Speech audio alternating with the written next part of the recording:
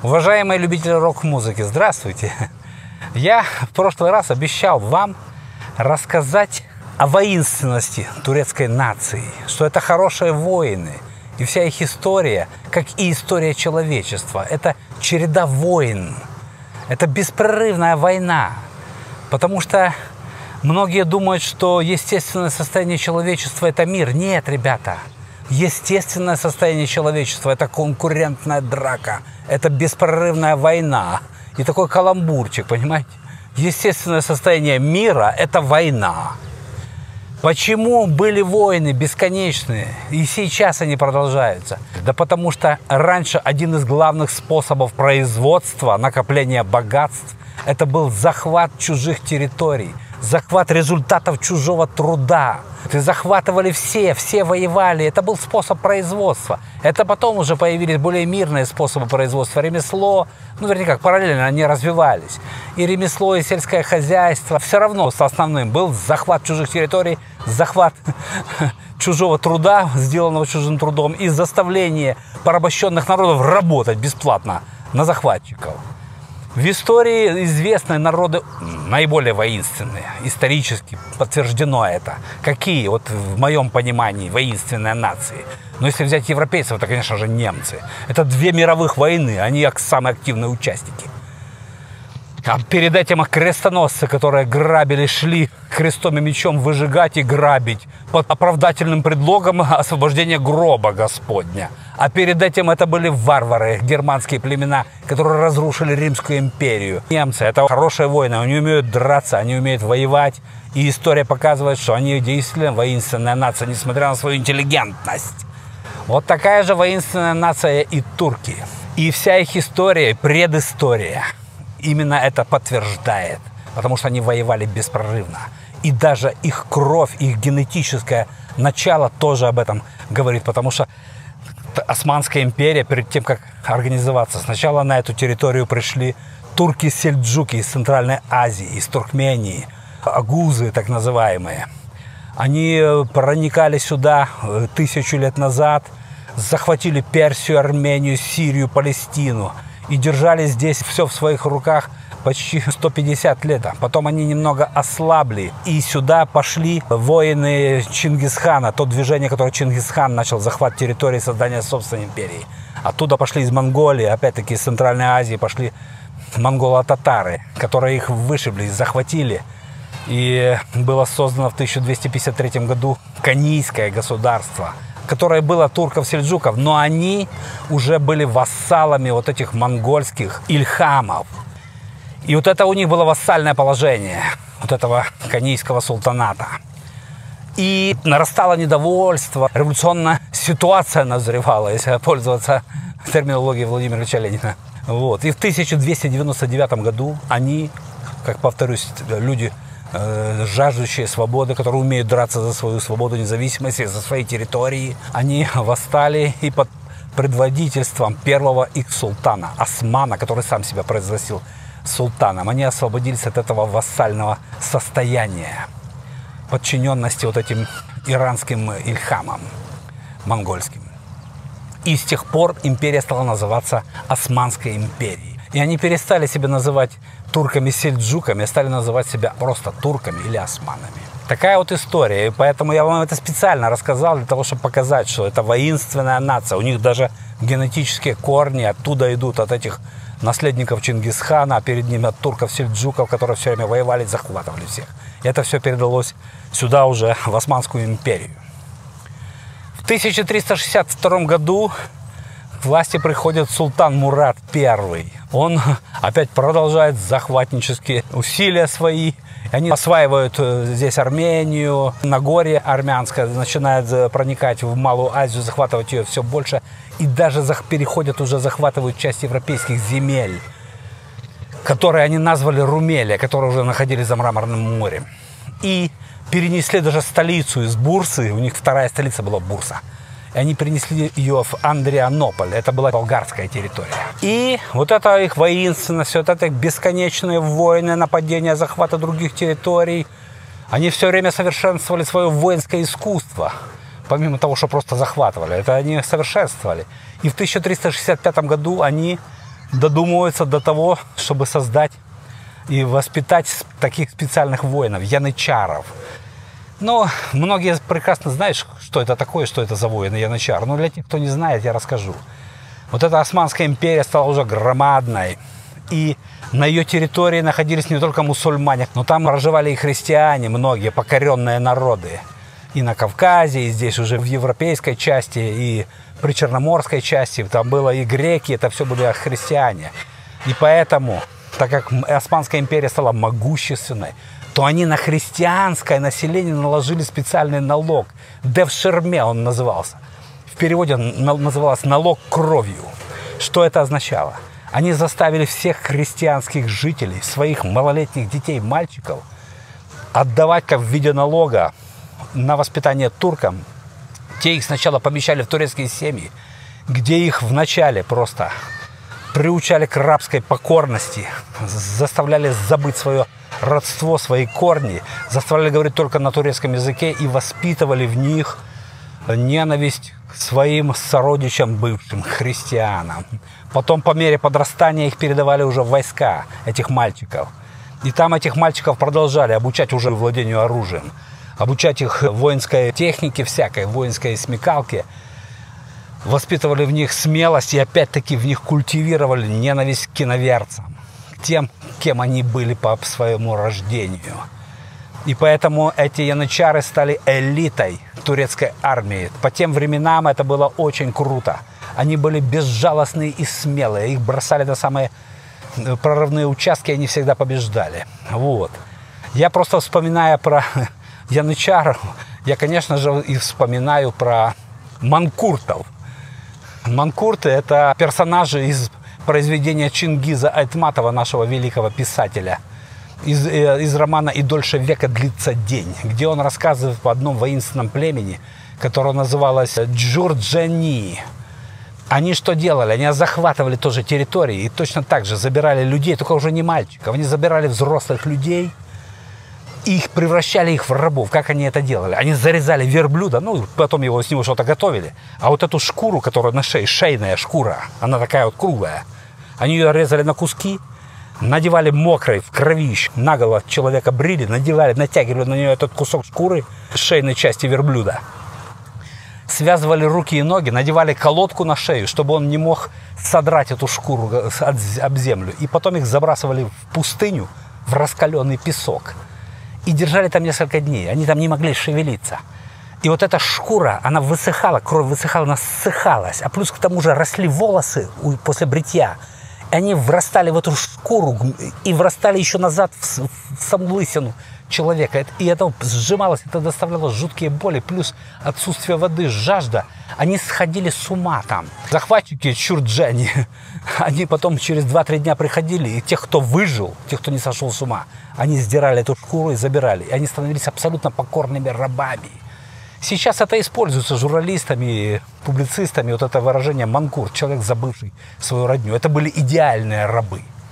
Ну, это я аналогию провожу с янычарами. Янычар, конечно, не так воспитывали, по-другому, но результат был тот же самый практически. Но вернусь к захватническим войнам. Поэтому турки не успокаивались. Они уже захватили Малую Азию, но Византийская империя сопротивлялась. Но все равно они с ней воевали беспрерывно. И в 1453 году они захватывают Константинополь, столицу Византии и переименовывают его в Стамбул, и делают своей столицей, уже переносят из Андрианополя уже в Стамбул. Вот, и, и продолжили свои захватнические войны далее. То есть, я повторюсь, это воины настоящие, умеющие воевать и жаждущие этого. У них был такой султан Селим I Грозный. Он был девятым султаном Османской империи. И он в начале 16 века опять пошел еще дальше. Начал захватывать Сирию на юге, Аравию сюда вот к юго-востоку и Египет на, в Африке. Он это все захватил. То есть вот так вот я вкратце вам рассказал о тех войнах, которые они вели беспрерывно, такие самые заметные захваты, самые заметные исторические факты. Но я хочу рассказать и, конечно же, о русско-турецких войнах, которые тоже очень длительный период шли. Они начались в середине 16 века и тянулись аж до 1918 года, до окончания Первой мировой войны. То есть более 350 лет Россия была в состоянии войн с Турцией. Только чисто военных действий было 69 лет. И разрывы между войнами колебались в среднем в 25 лет. С каждых 25 лет была новая война с турками. Первая была в 1572 году, когда князь Серебряно-Оболенский отбил турок от Астрахани и сделал окончательно Поволжье нашей русской территорией. Но русско-турецкие войны были не только в пользу России. Они были с переменным успехом. То наши побеждали, то турки. То наши захватят, то турки назад отвоюют и так далее и тому подобное. В 1678 году турки захватили Чигирины, правобережье Днепра. Захватили там, назначили своего гетмана, по-моему, Юрия Хмельницкого, он там был гетман, или Дорошенко, я сейчас, честно, не вспомню. В 1696 году, уже при Петре Первом, был нашими взят Азов турецкая крепость тогдашняя. Но в 1711 году Петр I не смог удержать Азов, и опять турки его забрали назад. То есть а такой вот переменный успех был. В 1736-37 годах наш военачальник, генерал-фельдмаршал Бурхард Миних, взял Перекоп и опять взял Азов. В 1769 году генерал Голицын взял Хотин, и мы вышли к Дунаю, к устью Дуная.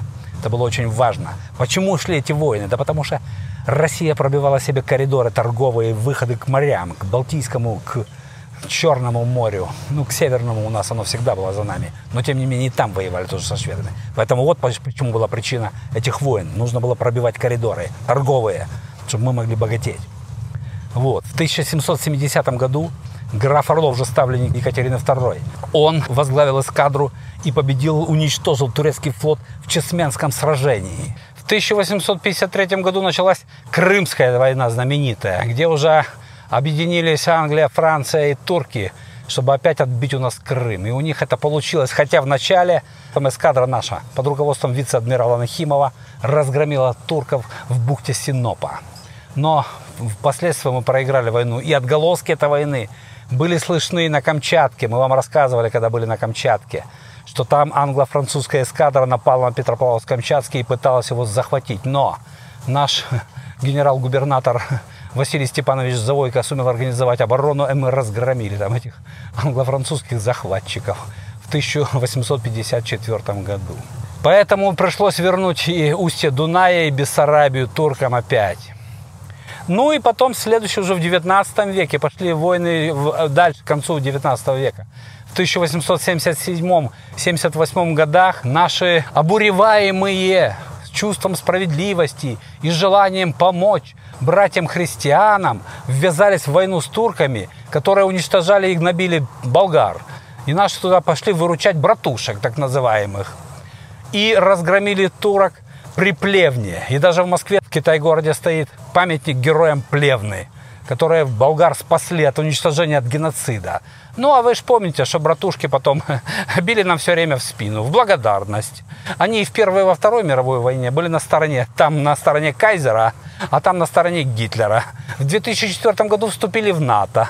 В 2012 году взяли, отказались от строительства атомной электростанции Белене и взяли, отказались от строительства Южного потока, хотя наши уже продолжили огромное количество труб по дну Черного моря. Вот такие вот братушки. Я надеюсь, что наше правительство и наше руководство больше не будет братушек выручать, кровью нашей поливать их земли.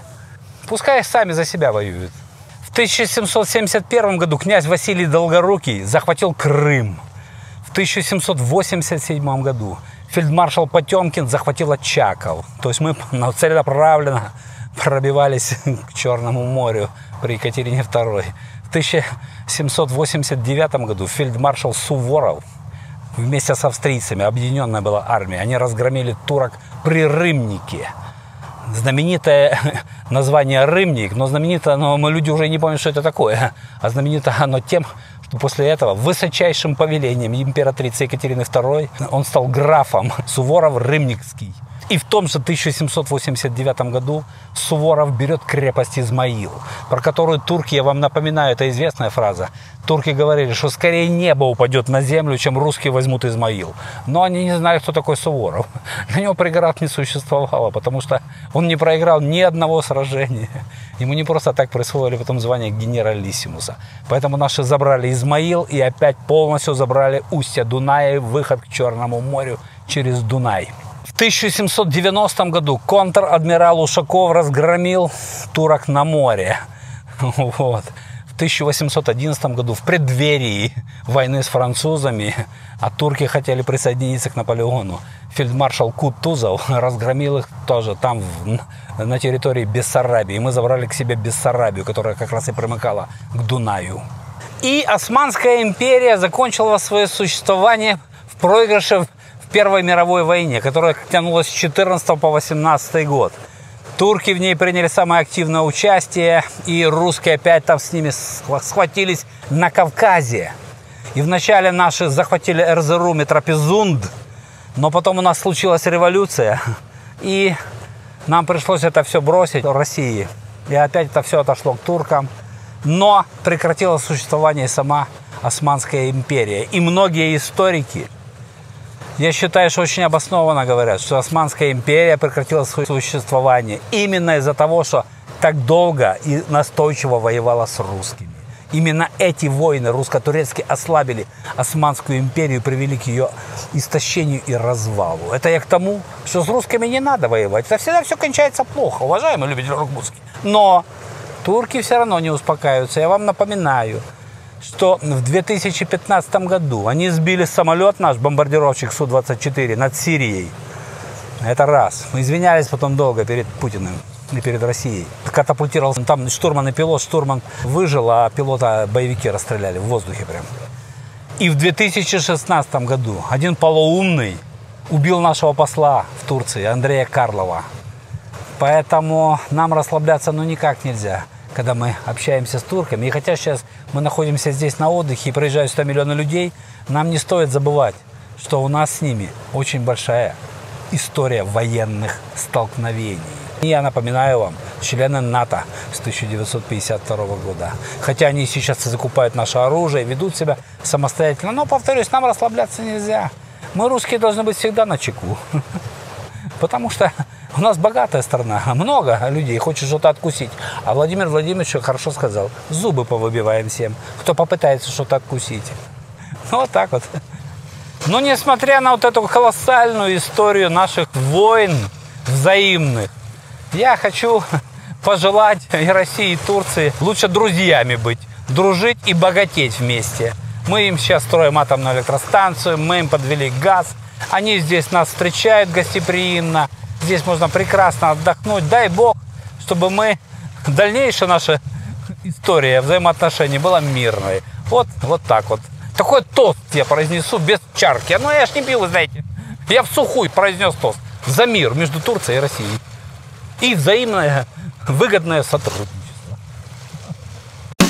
Из жизни русской профессуры, из жизни докторов наук Истории вам без цензуры. Расскажет рокер Валащук